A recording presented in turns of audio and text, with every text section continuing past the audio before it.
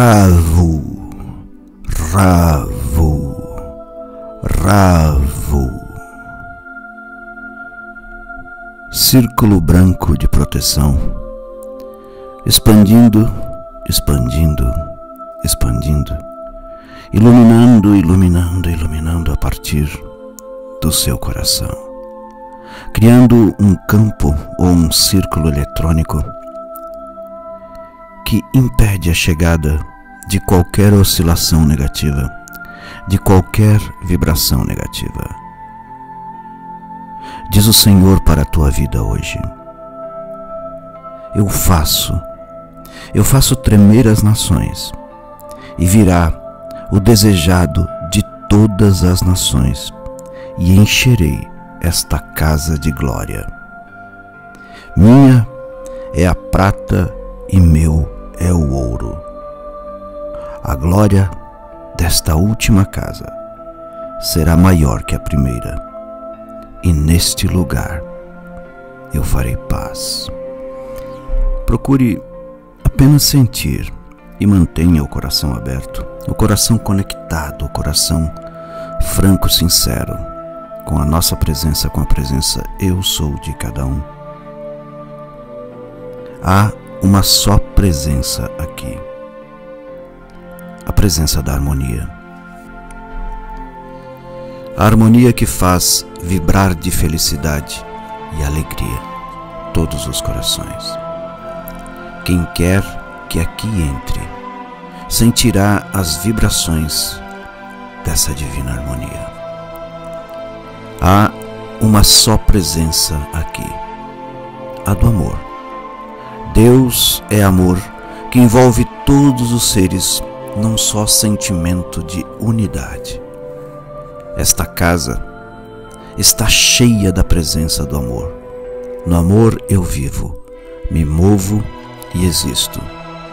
Quem quer que aqui entre sentirá a pura e santa presença do amor. Há uma só presença aqui, a da verdade tudo o que aqui existe, tudo o que aqui se fala, tudo o que aqui se pensa é a expressão da verdade. Quem quer que aqui entre sentirá a presença da verdade. Há uma só presença aqui, a da justiça. A justiça reina neste recinto Todos os atos aqui praticados são regidos e inspirados pela justiça. Quem quer que aqui entre sentirá a presença da justiça. Há uma só presença aqui, a presença de Deus, o bem. Nenhum mal pode entrar aqui. Não há mal em Deus. Deus, o bem, reside aqui quem quer que aqui entre sentirá a presença divina do bem. Há uma só presença aqui, a presença de Deus, a vida. Deus é a vida essencial de todos os seres. É a saúde do corpo e da mente. Quem quer que aqui entre sentirá a divina presença da vida e da saúde. Há uma só presença aqui, a presença de Deus, a prosperidade. Deus é prosperidade, pois Ele faz tudo crescer e prosperar. Deus se expressa na prosperidade de tudo o que aqui é empreendido em seu nome. Quem quer que aqui entre sentirá a divina presença da prosperidade e da abundância. Pelo símbolo esotérico das asas divinas, estou em vibração harmoniosa com as correntes universais da sabedoria, do poder e da alegria. A presença da sabedoria divina manifesta-se aqui. A presença da alegria divina é profundamente sentida por todos os que aqui entram na mais perfeita comunhão entre o meu eu inferior e o meu eu superior, que é Deus em mim. Consagro este recinto à perfeita expressão de todas as qualidades divinas que há em mim e em todos os seres.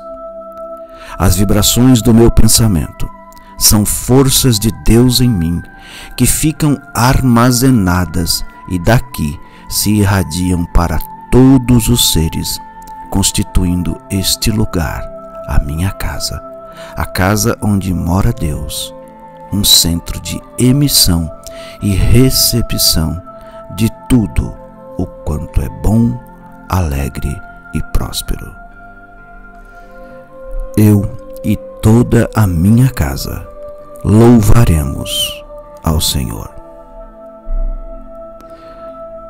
Neste dia, dedicado em presença, em espírito, em verdade, a esta vibração forte e pujante deste anjo, o anjo do dia 31 do 12.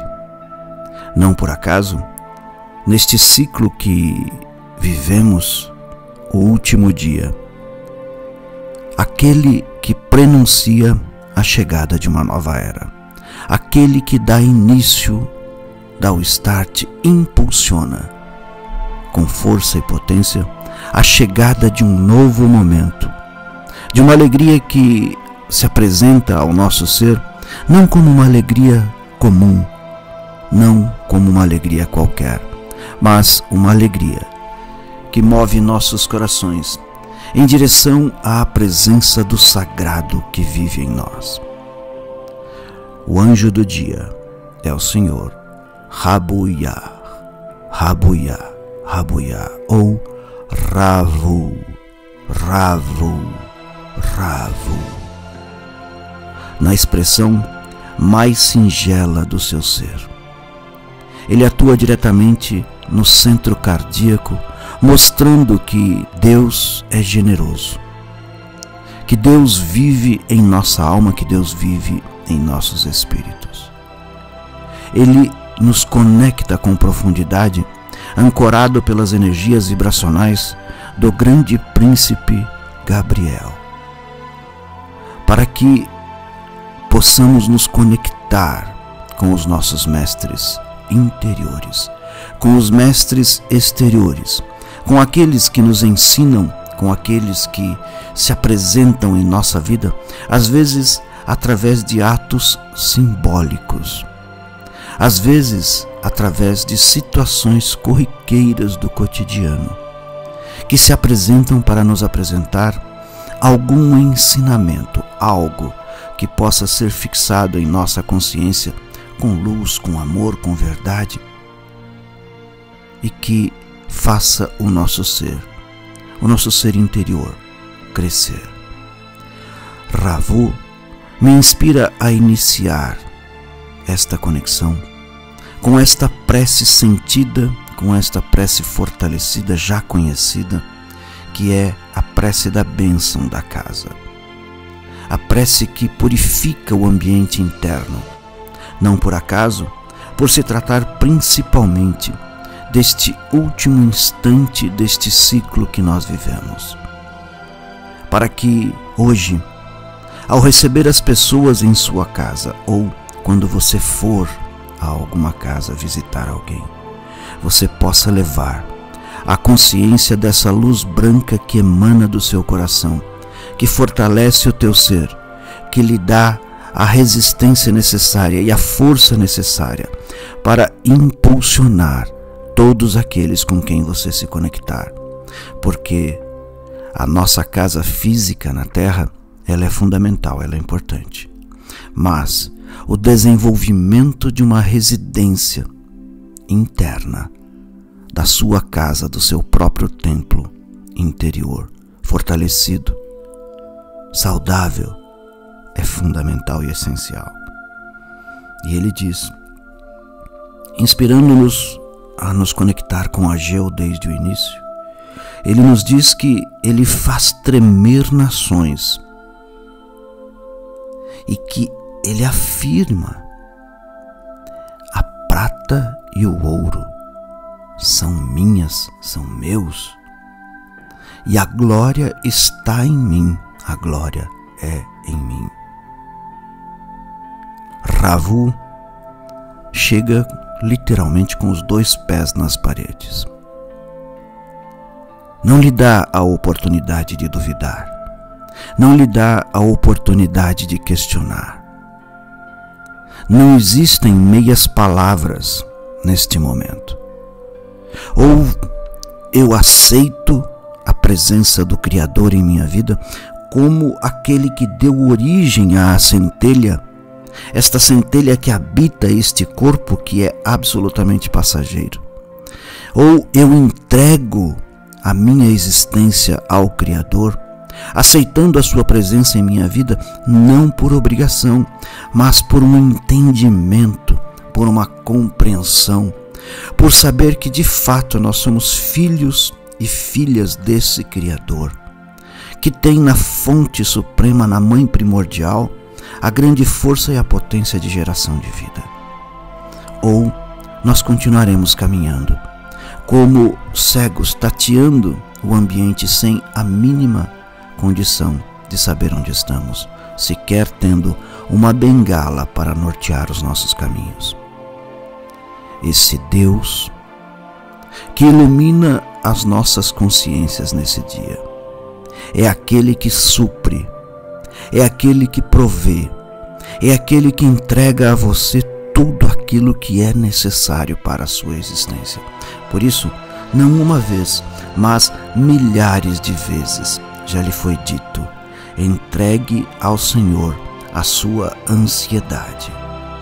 Entregue ao Senhor a sua depressão. Entregue ao Senhor a sua saúde. Entregue ao Senhor a sua vitalidade, pois Ele retribuirá em múltiplos de mil, de dez mil, de um milhão. Crer não é a mesma coisa que saber. Quando eu creio, eu ainda permito a possibilidade da dúvida. Quando eu sei da existência de Deus, quando eu sei que Deus vive em mim, eu não deixo a possibilidade da dúvida. E no coro dos anjos, impulsionado por Gabriel, ele sempre nos diz: não tem os anjos nem os demônios o poder de ler os nossos pensamentos. Por isso, por isso é essencial cuidar neste dia em particular das palavras que são ditas, das palavras que são faladas, porque na maioria das vezes as palavras expressam o sentimento do nosso coração, elas expressam os nossos pensamentos. E quando falamos, é que todos têm a convicção daquilo que passa dentro da nossa alma. Seja a tua realidade interna a mesma da tua realidade externa. Seja a tua realidade externa a mesma da tua realidade interna. Rahu, ele procura neste instante abrir espaço no seu coração para fazer jorrar a tua luz, a luz que está acumulada no seu íntimo, aquela que está guardada, aquela que você preservou por tanto tempo. E muitas vezes, amados e amadas, nós guardamos o melhor vinho para a melhor situação. No entanto, quando vamos perceber a nossa vida inteira foi repleta de melhores situações e nós não bebemos o vinho. Portanto, beba o seu melhor vinho hoje. Vista a sua melhor roupa hoje. Sinta a presença de Deus da melhor maneira hoje. Dê o seu melhor hoje. Não importa com quem você esteja não importa a situação que você esteja envolvida ou envolvido, mas dê o seu melhor hoje, porque a melhor companhia que você pode ter é aquela que já está com você. Deus. Deus é presente em sua vida, a cada inspiração e a cada expiração. Sentindo sentindo esta presença de Ravu Rabuya. Eu quero que você agora vá abrindo a essência do teu ser. Eu vou insistir neste dia, neste dia que encerra um ciclo, dia 31 do 12, mas que impulsiona com amor a entrada de um novo momento. Ainda que imaginário, ainda que seja apenas uma troca de calendário, mas que no seu interior vibre ousadamente, porque Rabuya dá essa possibilidade. Ele nos concede o poder da ousadia, o poder de assertivamente sabermos que nós podemos ser curados a partir da fé que alimentamos dentro de nós. Tenha a convicção, a certeza, assim como aquela mulher que desesperadamente procurava Jesus para tocá-lo, porque ao tocá-lo, ela sabia que seus sangramentos parariam. Mas nós já sabemos disso. A cura já estava nela. O seu nível de fé já era grandioso e ela precisava apenas de uma confirmação. Ela precisava de um agente externo para confirmar a presença de Deus em seu interior. Nós, passados tantos anos, que possamos hoje, neste encerramento, e abertura. Ter a certeza, a convicção de que Deus é conosco. Deus habita o nosso ser e onde Deus habita não há espaço para imperfeições. A perfeita perfeição do Criador renova as tuas células físicas, transforma a tua vida em algo benéfico para si próprio e para a humanidade. A presença de Deus em tua vida renova as tuas células espirituais, as tuas células emocionais, assim como renova as minhas. Ele faz novo tudo aquilo que aparentemente é velho. Ele faz surgir a vida onde há o lodo.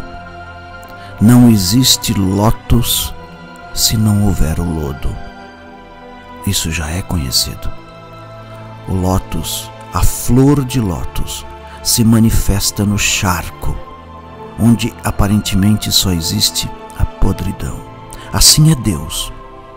Deus faz novo tudo aquilo que aparentemente é velho. Ele renova de si próprio a essência maior da existência. Então, peço a você, me estendendo um pouco mais aceite Deus como o renovo de sua existência. Abra sua casa hoje para receber a presença do Criador, mas todos os dias, e beba a sua taça de vinho, a melhor taça de vinho, o melhor conteúdo que você tem a oferecer todos os dias de sua vida. Não espere o melhor momento, porque o melhor momento é agora hoje, neste instante, nesta inspiração que você acabou de dar, a cada segundo. Se você estiver com os olhos fechados agora, ouça lá dentro uma voz dizendo: Eu te amo, eu te amo, eu te amo. E viva na alegria de Deus. Abra os seus olhos Observe agora na tela do seu aparelho as letras que compõem números, que compõem letras, que compõem palavras. O seu significado por si só, neste momento, já vai se conectando dentro do teu ser, já vai permitindo presença deste nome sagrado, de mais um destes nomes sagrados, combinando com a essência deste dia. Três mais um, quatro. quatro é estrutura, quatro é permanência, quatro é impulsionamento, fortalecido pelo três da soma de um mais dois. Completamos o ciclo do equilíbrio através do triângulo, através da somatória do 3 mais o 4. Nós temos o 7, o número divino, o número sagrado, o número inconteste na criação. Então, observe as letras. Elas falam mais do que aquilo que nós podemos ver. E permita-se, permita-se de fato, meditar hoje com o coração aberto, reverenciando um mestre da sua vida. Seja uma pessoa, seja um santo, seja um anjo, seja alguém que você conhece. Emita um sentimento de gratidão a alguém ou alguma situação que tenha lhe trazido algum ensinamento. Os mestres interiores e exteriores nos auxiliam a crescer em nossa vida seja impregnada, seja impregnado pela presença de Deus, do seu mestre interior. E mais uma vez, com profundidade, permita-me, permita-lhe, permita-me, perdão, convidá-la, convidá-lo a fazer um Pai Nosso para finalizarmos este processo de hoje, cuja vibração de Ravo foi muito intensa Estou fazendo isso de madrugada. Foi intenso, maravilhoso. Pai Nosso, Pai Nosso, Pai Nosso. Como é bom falar Pai Nosso, Pai Nosso, Pai Nosso, que estais nos céus mas também está em mim, está em você, está em todas as pessoas, está em todas as situações. Que santificado seja o teu nome, pois o teu nome é santificado, não ontem, não amanhã, mas hoje e eternamente. Venha, Senhor, o teu reino esse reino que já existe em nós. Basta, basta que nós possamos nos despertar, Senhor. Basta que nós possamos abrir os olhos de nossos corações e aceitar a tua existência em nossa vida, meu Deus.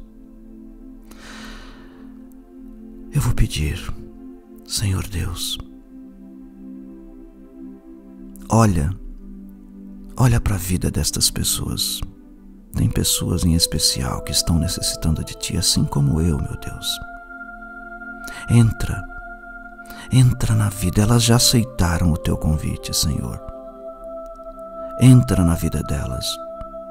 Elas já te receberam, eu já te recebi, Senhor. Nós já abrimos nossos corações para recebê-lo, Senhor. Transforma, transforma a nossa existência de tal maneira e de tal forma que todos aqueles que observarem de maneira externa vão se surpreender e não vão compreender. O inimigo até vai tentar, mas ele não terá forças de forma alguma para suplantar a tua presença em nossas vidas. Que a presença dos santos anjos sejam manifestas em nossos dias para a presença dos santos, daqueles que louvam os santos, seja Expedito, seja Judas, sejam quem for, possa se manifestar em nossos caminhos. Que a presença, que a presença dos orixás, para aqueles que têm essa vinculação, possam se manifestar pela presença do Eterno em nossa vida e eu, particularmente, peço por louvação e honra a Santa Maria, que seja presente em nossos dias através de suas vibrações.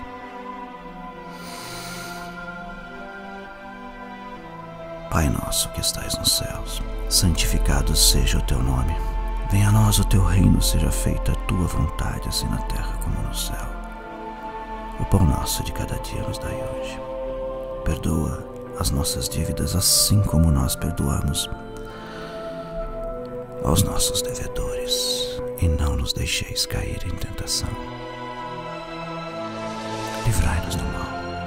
Amém. Que você tenha um excelente dia com tua casa, com tua família, com os teus e principalmente consigo e com Deus. Harmonia, luz e que tenhamos um ano novo cheio de vida. Até o nosso próximo encontro. Te contar um segredo, me emocionei aqui, viu? gratidão, gratidão, gratidão.